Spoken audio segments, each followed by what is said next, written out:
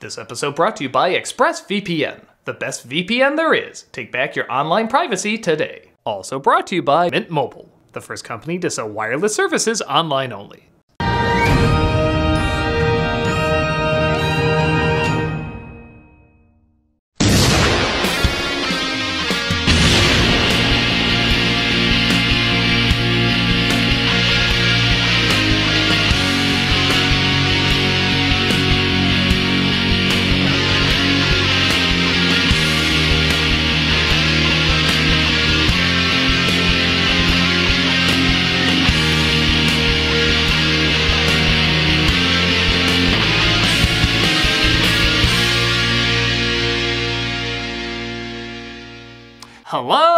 Nostalgia Critic. I remember it so you don't have to.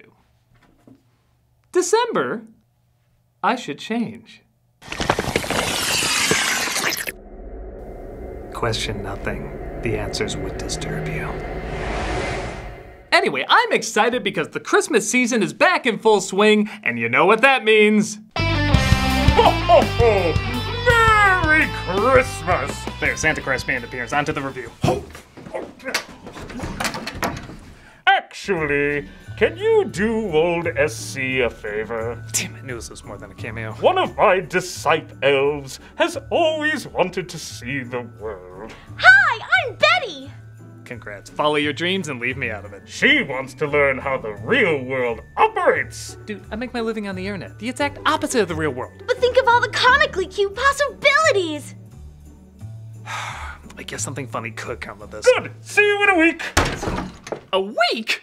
Hey, who's this? I'm Betty, the disciple elf. Is this your TV? Um, yeah. Oh, we don't have TVs at the North Jerusalem. Is this your magic wand to turn it on? I guess you could call it that. Oh, it's like a flat Christmas pageant, but they talk about things other than Christmas. You know, I'm not gonna lie, this is kind of adorable. Yeah, I wonder why Santa Claus was so eager to get rid of her. the yellow sponge is talking. Where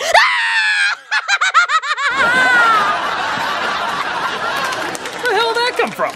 wow, what is this amazing invention I see before me? It's a pen! Wow, we only write with the spit of blueberry fairies. Really? Yes, and the feather of a reindeer angel for the quill. Maybe she just had a random spaz attack earlier. Yay! Pens are great! What is going on here? Why is she acting so crazy? And what's with that laugh track? Well, it looks like before she was a disciple elf, she worked on Saturday Night Live. Oh, so sometimes she's entertaining us, and other times. She's entertaining a live audience. This is the happiest day of my life, and when I'm happy, I fart candy canes. Here you go. I mean, that's atrocious, but it's loving too.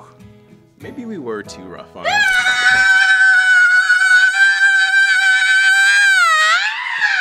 I hate her.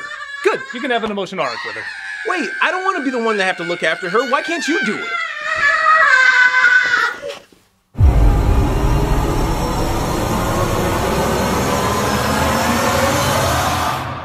Okay, I'll look after her. What's? My hand.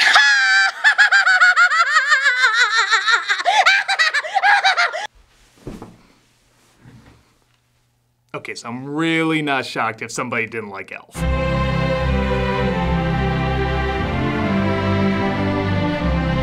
The 2003 smash hit put both Will Ferrell and Jon Favreau on the map as unlikely cinematic draws. The simple concept about an elf who's really a grown human being going to New York to find his dad sounds harmless enough, and to many it was. It won over a fair amount of adults and definitely a ton of kids, mainly from Will Ferrell's larger than life performance. But after years of being overplayed, overquoted, and yes, overshouted by millions of kids, the movie got on a lot of people's nerves. I remember seeing it and not really liking the movie as much as Ferrell's performance. Now, looking back almost 20 years later, it's both a little better and a little worse than I remember. Bottom line, when the movie is trying to be big, a clear influence, I think it's pretty likable. When it's trying to be early 2000s SNL, it's kind of a pain. As silly as it looks, it actually is an interesting film to look over, and that's what we're gonna do today. That is, if I don't get interrupted. That's you. But the kids love her. Let's take a look at Elf. Bob Newhart plays Papa Elf, and right off the bat, I can say while the story is fine, I don't think the writing is that great. Newhart can literally get a laugh pretending to be on the phone. He's perfected the art of saying uh better than Goldblum. I know what I said! Here, I'm ready to laugh at anything funny he says, and they literally give him nothing funny to say. You wasted your Newhart. Another interesting uh, uh, elf-ism. Uh, there are only three jobs available to an elf. I feel like I'm watching the geriatric porn parody, except that would get more laughs. The look of the film is pretty fun, though. It looks like they use CG only when they have to in this opening, and the rest of the time they either create sets satirizing the old Rudolph specials, or they even use stop motion. Again, they almost never say anything funny, but represent, I guess. It's time to go to sleep. At an orphanage, Santa, played by a sometimes terrifying Ed Asner. I didn't use Chips Ahoy, so I'm taking the kid. Accidentally gets a baby in his bag and brings him to the North Pole. Santa had a decision to make.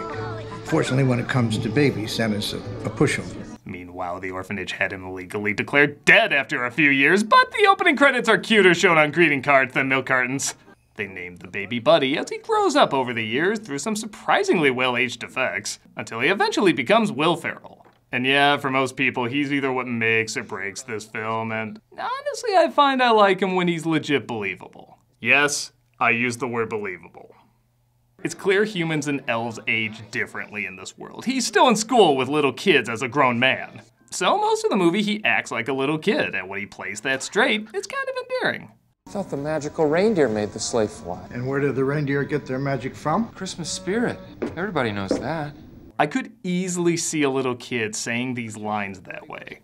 I'll also admit, I just find earnestness funny. And there are several times where his naive optimism wins me over. A lot of people down south don't believe in Santa Claus. What? Everyone thinks the movie is nothing but him yelling, but there are plenty of moments where he acts, dare I say it, a tad subtle. With that said, there are plenty of moments where he does scream, and they usually don't work. Some do, thinking Santa is an imposter later in the movie. I buy that. This would be his reaction. But when he's told his biological father is on the naughty list, that's not how a little kid would react. That's Will Ferrell being wacky. And yeah, I'll be the first to say I'm one who's done a lot of over the top reactions, and I'm just gonna guess in the 15 years doing this, they haven't all worked. But the truth is, I do give credit to those who go big because there is a lot to risk. A really quiet, subtle form of comedy is dry, respectable, and usually has a hard time getting noticed. Because of this, big reactions are seen as cheap, easy laughs. I get it. But that's the thing. If a quiet joke doesn't work, you usually don't risk that much. If a loud joke doesn't work, you look like an obnoxious ass. Not to say deadpan humor can't have its risks, but loud humor? You can lose your audience just as quickly as you can have them gravitate towards you. So I can't just dismiss when someone puts all their energy into a bit. But I can say when it wins me over and when it doesn't. And yeah, don't worry, we're still gonna address those moments. Once Buddy discovers the truth, he decides he should go to New York to find his biological father. And I'll just say it, I don't understand this joke.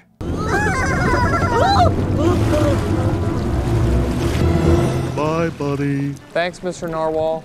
Yeah, I really thought Dr. Manhattan's dick was gonna rise up and kill him. Did that scene forget a punchline?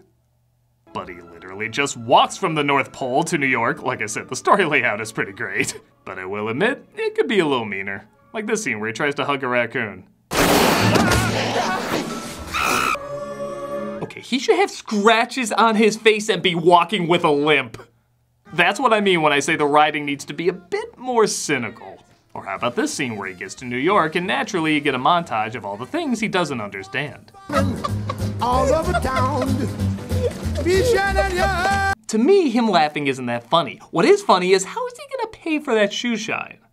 Imagine him saying he doesn't know what money is, or he tries to pay him with a hug or candy or something, and the guy whoops his ass or chases after him. That would have been hilarious. So many of these jokes are mistaking the setup for the payoff, and it does get distracting time to time. Yes, more of that, please! On that note, a lot of these scenes do kind of feel like dated prank videos, and okay, let's just start it. Here's a count of all the moments that scarred parents because their kids try to reenact it in real life.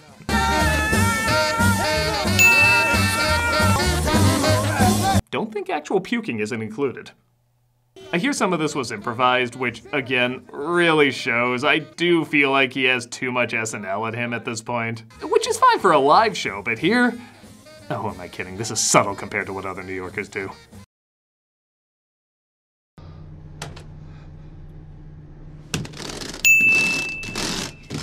He finally meets up with his dad, played by James Caan, and I'll admit, when I first saw it, I completely missed the comedic genius of this performance. When you're young, you're watching Ferrell. When you're older, you're watching Caan.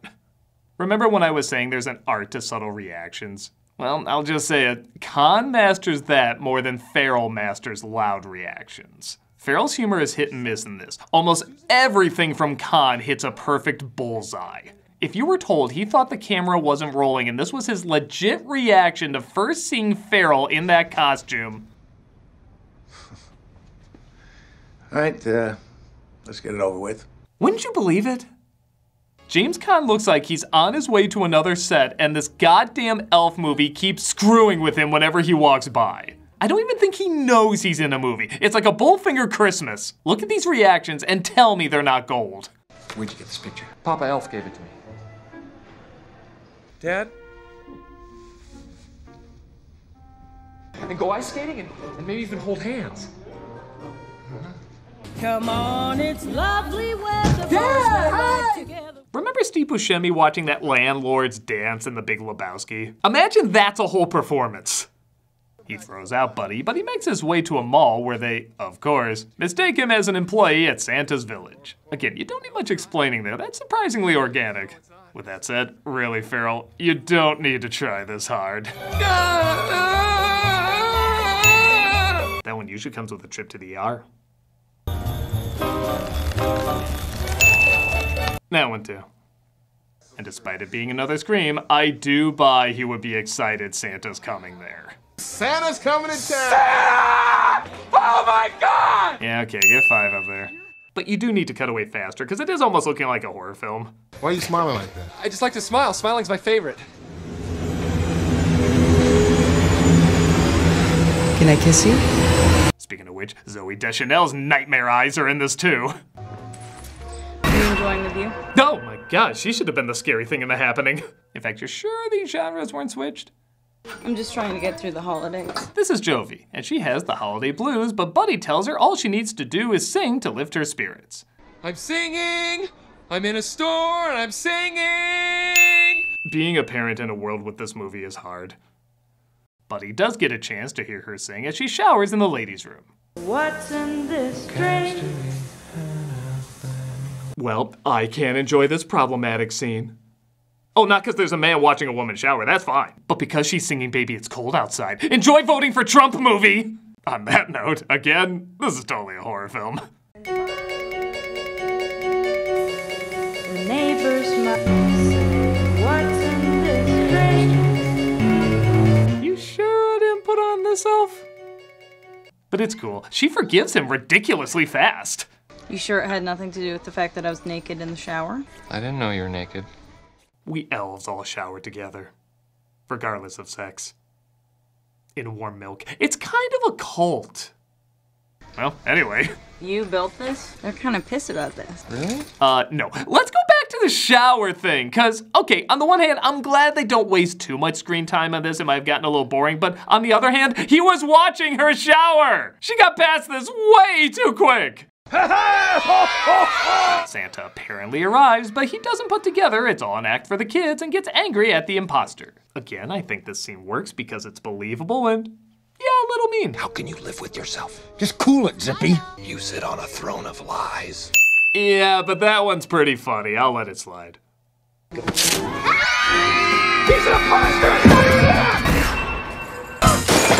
That also dig how these kids are horrified but then start cheering when it gets violent. Again, they can see real comedy too. That's Santa Claus! That's He's not Santa! Are you sure? Because strangely, the best Santa Clauses are violent.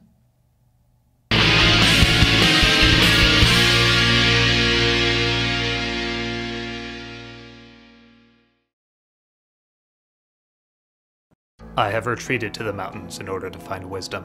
What did I find? ExpressVPN. Weird I get internet connection up here, but that's just from all the newfounded wisdom I have now. Nah, nah, nah, nah, nah. For you see, using the internet without ExpressVPN is like taking a call on a train or bus on speaker for everyone to hear. You don't know who has access to your most private, sensitive information. So don't be that person. Be like me, half naked in the mountains. Oh, don't worry, it's only the bad parts that are naked. Here's why I use ExpressVPN half naked in the mountains. You don't have to be half naked in the mountains, but then you won't be as cold and afraid. Internet service providers know every single website you visit, and in the US, they can legally sell this information to ad companies and tech giants, who then use your data to target you. ExpressVPN creates a secure, encrypted tunnel between your device and the internet, so people can't peep on your online activity, or if you're half naked in the mountains because you're so full of wisdom. I I'm starting to hallucinate, but regardless, just fire up the app and click one button. It works on phones, laptops, even routers, so everyone who shares your Wi Fi can be protected. No wonder it's rated number one by Business Insider and The Verge. I like using it so I can rest comfortably and not worry about my information being stolen. Instead, I can focus on my butt cheeks resting here on the snow. Sure, I can't feel them anymore, but think of it from the snow's point of view. Secure your online activity today at expressvpn.com slash nostalgiacritic and get an extra three months of ExpressVPN free. That's expressvpn.com slash nostalgiacritic. expressvpn.com slash nostalgiacritic. It's like a song. You know what I miss? Songs. And music. And warmth. Wisdom hurts, but I know what'll make me feel smarter. Mint Mobile. This holiday season, the best deal in wireless can be found at Mint Mobile. Right now, when you switch to Mint Mobile and buy any three month plan, you'll get another three months for free. As the first company to sell premium wireless service online only, Mint Mobile lets you order and activate from home with eSIM while saving tons on phone plans starting at just $15 a month. Am I supposed to see myself in my own breath? Has it actually gotten so cold it's reflecting back my image? Wow, I'm gonna die here. Good thing I have Mint Mobile. I've been using Mint Mobile long before this holiday deal, and I have to say, it's the perfect time to switch. With their buy three months, get three months free plan, I'm saving so much that I can now put towards holiday gifts. Not for my family, I left them long ago to live up here like an idiot. Is that cabbage flying or am I still hallucinating? No, it's real. It's gotta be real. That's I'm so full of wisdom real. Did I say yet that Mint Mobile's best offer of the year is here? For a limited time, buy any three month plan and get three more months free. By going online only with eSIM and eliminating the traditional cost of retail, Mint Mobile passes significant savings on to you. All plans come with an unlimited talk and text, plus high speed data delivered on the nation's largest 5G network. The cabbage is talking to me sounds like J.K. Simmons. Use your own phone with any Mint Mobile plan and switch easily and effortlessly with eSIM. Or if you need a new device for a limited time, get six months of free service when you buy a select device and plan. Switch to Mint Mobile and get premium wireless service starting at just 15 bucks a month. You need that spelled out cabbage who wants pictures of Spider-Man? Okay. For a limited time, buy any three-month Mint Mobile plan and get three more months free by going to mintmobile.com slash nostalgia. That's mintmobile.com slash nostalgia. Cut your wireless bill to 15 bucks a month at mintmobile.com slash nostalgia. Why yes, I would like to fly away with you, cabbage. Away! Oh my god, I can't fly!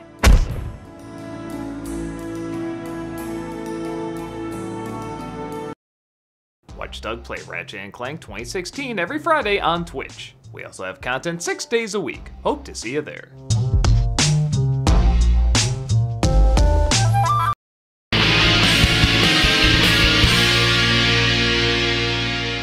Buddy's dad bails him out of prison. Yeah, they cut the scene where he encounters a male prostitute wearing the same outfit. And upon research, he realizes he might be the son he never knew he had.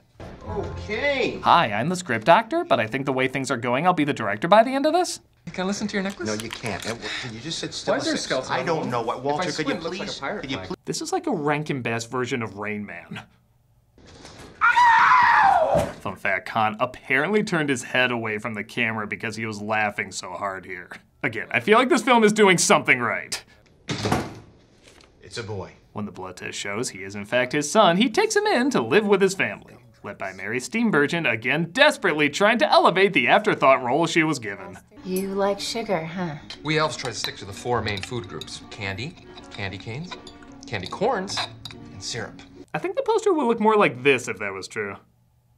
Are you crazy? He cannot stay here. Walter, he's your son. We don't even have enough money to put soda in our glasses.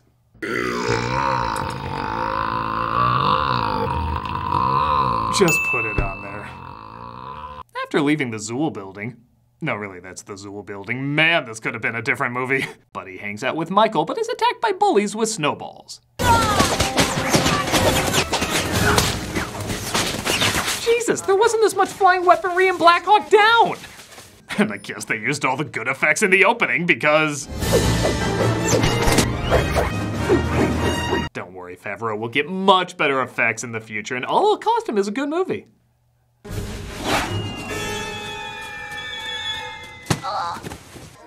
Copyright expired.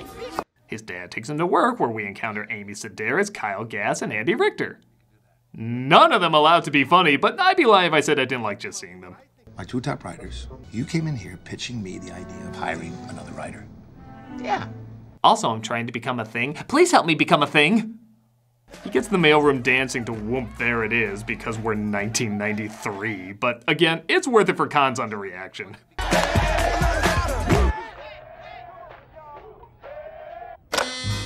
It cut away before he stormed off set. Admitted, every scene looks like that's about to happen.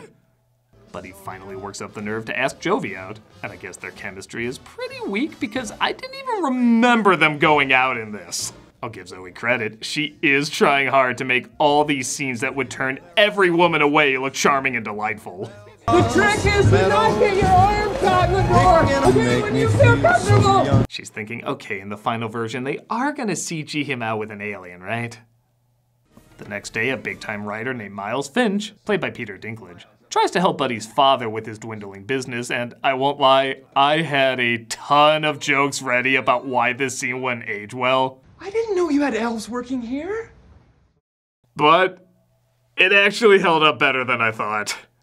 It works because there's two polar opposite mindsets fighting each other, and both are funny. You got Ferrell earnestly thinking he's met someone from home and being really, really kind, and Dinklage thinking he's mocking him and honestly acting like a saint for the early moments. You're you're hilarious, my friend. Does Santa know that you left the workshop? You know, we're all laughing our heads off. Then you got Dinklage snapping and going after him, and Ferrell completely confused about why this is happening. Why is his friend from home ripping him to shreds for his compliments?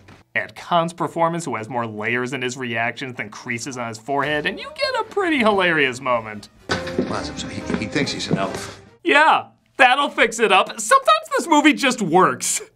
Maybe the writing in this is better than I thought. It's not like they used the three laziest words in plot exposition. As you know, we need a big launch fast. Back in the shit pile. Dad, What is it? Buddy ran away. Thank God. Oh, I mean, thank God. If you want to keep your job, Hobbs, you will pitch me this book right now. We get that lame, your family or your job scene. Hobbs, you walk out of here and, and, and, and you're finished at Greenway. You're finished. Or may I forever be a guy in a suit behind a desk for every movie I'm in. And they search for Buddy. Don't do it, George. You have a wonderful life. That's Buddy Clarence. Oh, screw it. He can jump. He randomly runs into Santa, whose sleigh is running low on magic because not enough people are believing. Will you fix it for me, buddy? I'll try. Okay, so I am impressed how quickly this film went by. Like, when we got to this point, I was kind of shocked we were here already. But on that note, this climax kind of drags. They're stuck in a visually dull area where either just looking at people looking at sled, or looking at people looking at people looking at a sled, or looking at people looking at people looking at people looking at a sled. Why is this exciting? I know you may be a little um, chemically imbalanced, but you've been right about a lot of things. That's a look Will Ferrell gives after being called chemically imbalanced a lot. Oh, and we randomly have villains all of a sudden. Only the Central Park Rangers now remain in the park. Central Park Ranger. These forces are highly trained but rarely see action. Some accuse them of being too gung ho when called into duty. Did Favreau think this was his first Marvel movie? I wish Mickey Rourke was this threatening in Iron Man 2. Quick, man, throw your flaming pumpkins at him.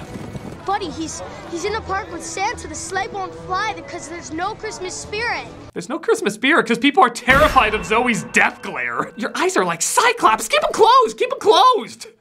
It's the real Santa. He needs our help. Hey, Michael, are you okay? Zoe, you can tell us you thought this movie was gonna bomb, didn't you? That's why you're phoning in this third act. Best way to spread Christmas cheer is singing loud for all to hear. You better watch out. You better not cry. You better not. My God, such a booming voice of indifference would silence any New York street corner on Christmas Eve. She gets everybody singing, and the news records it because they don't report the news anymore. They just kind of leave the camera on and hope something happens. Eh, it's not that far fetched. But Buddy's dad's refusal to sing is the only thing stopping the sleigh from taking flight. Because Elf, I don't know. Santa Claus is coming to town. Yeah, one later.